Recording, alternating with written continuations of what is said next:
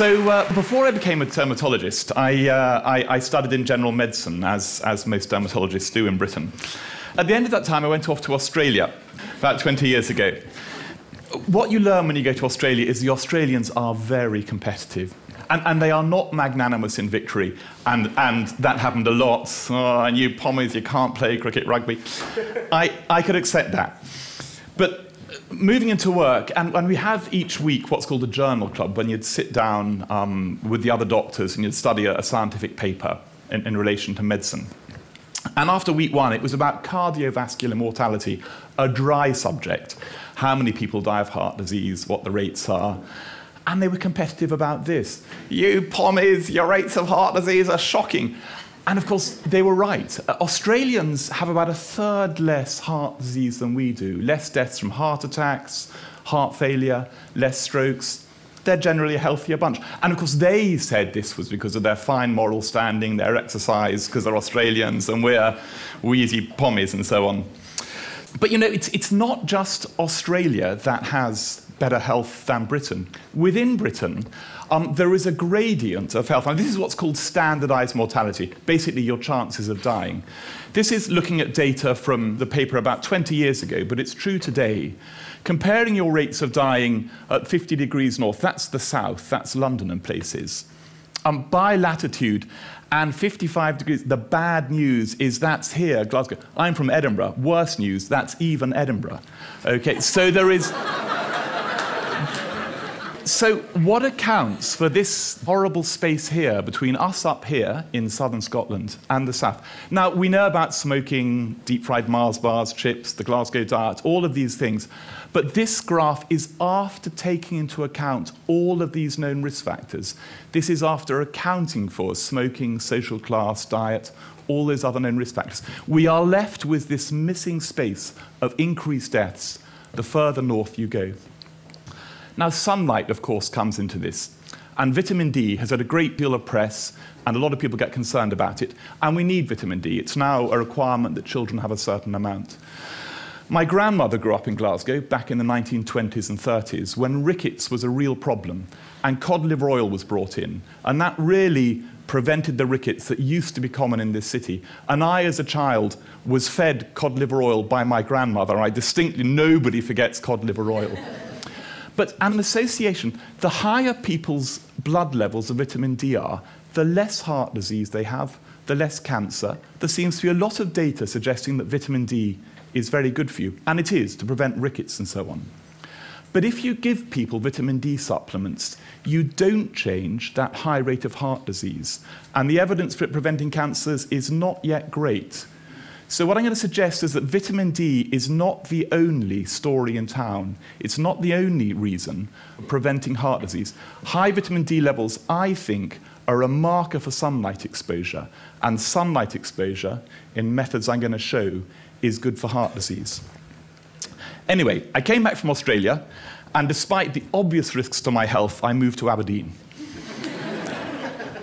now, in Aberdeen, I started my dermatology training, but I also became interested in research, and in particular, I became interested in this substance, nitric oxide. Now, these three guys up here, Furchtgott, Ignarro, and Murad, won the Nobel Prize for Medicine back in 1998. And they were the first people to describe this new chemical transmitter, nitric oxide. What nitric oxide does is it dilates blood vessels, so it lowers your blood pressure. It also dilates the coronary arteries, so it stops angina.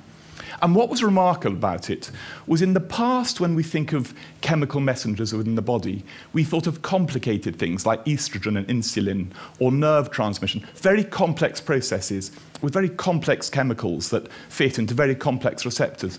And here's this incredibly simple molecule, a nitrogen and an oxygen, that are stuck together.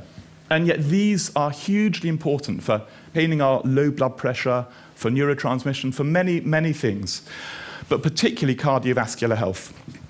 And I started doing research, and we found very excitingly that the skin produces nitric oxide. So it's not just in the cardiovascular system it arises, it arises in the skin. Well, having found that and published that, I thought, well, what's it doing? How do you have low blood pressure in your skin? You know, it's not the heart. What do you do? So I went off to the States, as many people do if they're going to do research, and I spent a few years in Pittsburgh Um, this is Pittsburgh. And I was interested in these really kind of complex systems. We thought that maybe nitric oxide um, affected cell death and how cells survive and their resistance to other things. And I first of all started work in, in cell culture, growing cells. And then I was using knockout mouse models, mice that couldn't make the, the gene. We worked out a mechanism which NO was helping cells survive. And I then moved back to Edinburgh. And in Edinburgh, the experimental animal we use is the medical student. It's a species close to human with several advantages over mice. They're free, you don't shave them, they feed themselves, and nobody pickets your office saying, save the lab medical student. So they're really an ideal, an ideal model. But what we found was that we couldn't reproduce in man the data we had shown in mice it seemed we couldn't turn off the production of nitric oxide in the skin of humans. We put on creams that blocked the enzyme that made it. Um, we injected things. We couldn't turn off the, the nitric oxide. And the reason for this, it turned out, after two or three years' work, was that in the skin we have huge stores, not of nitric oxide, because nitric oxide is a gas and it's released, and in a few seconds it's away but it can be turned into these forms of nitric oxide, nitrate, NO3, nitrite, NO2, nitrosothiols, and these are more stable, and your skin has got really large stores of NO. And we then thought to ourselves, well, there's big stores. I wonder if sunlight might activate those stores and release them from the skin, where the stores are about 10 times as big as what's in the circulation. Could the sun activate those stores into the circulation, and there in the circulation, it can do its good things for your cardiovascular system? Well, I'm an experimental dermatologist, so what we did was we thought we have to expose our experimental animals um, to sunlight. And so what we did was we took um, a bunch of, of uh, volunteers and we exposed them to uh, ultraviolet light. So these are kind of sun lamps. Now, what we were careful to do was vitamin D is made by ultraviolet B rays. And we wanted to separate our story from the vitamin D story.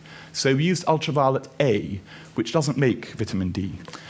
When we put people under a lamp for the equivalent of about 30 minutes of sunshine in summer, um, in Edinburgh, what we produced was we produced a rise in circulating nitric oxide. So we put patients with these subjects under the UV, and their NO levels do go up, and their blood pressure goes down, not by much at an individual level, but enough at a population level to shift the rates of heart disease in a whole population.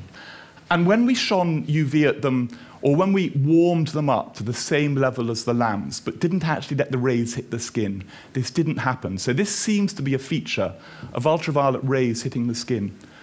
Now, we're still collecting data. A few good things here. Well, this appeared to be more marked in older people.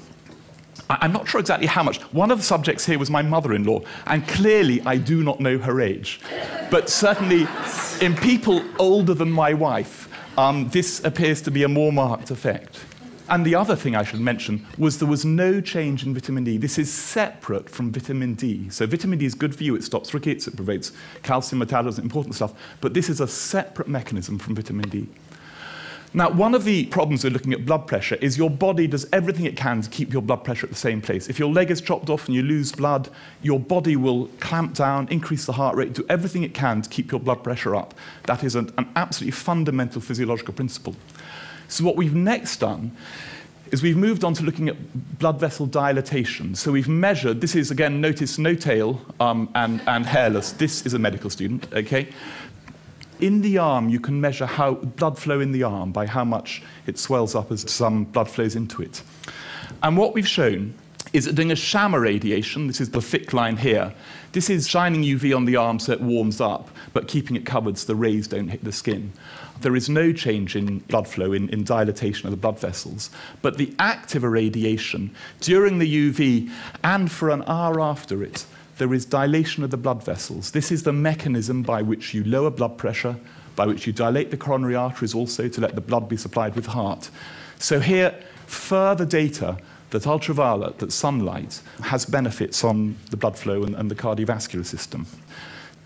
So we thought we'd just kind of model different amounts of UV um, hit the Earth at different parts of the Earth at different times of year. So you can actually work out those stores of nitric oxide, the nitrates, nitrites, nitrosothiols in the skin, release a cleave to release NO. Different wavelengths of light have different activities at doing that. So you can look at the wavelengths of light that do that. And you can look, so if you live on the equator, the sun comes straight overhead, it comes through a very thin bit of atmosphere. And winter or summer, it's the same amount of light. If you live up here, um, in summer, the sun's coming fairly directly down, but in winter, it's coming through a huge amount of atmosphere, and much of the ultraviolet is weeded out, and the range of wavelengths that hit the Earth are different in summer to winter. So what you can do is you can multiply those data by the NO that's released, and you can calculate how much nitric oxide would be released from the skin into the circulation. Now, if you're on the equator here, that's these two lines here, the red line and the purple line. And the amount of nitric oxide that's released is the area under the curve, is the area in this space here. So if you're on the equator, December or June, you've got masses of NO being released from the skin. So Ventura is in Southern California. In summer, you might as well be at the equator. It's great. Lots of NO is released. Ventura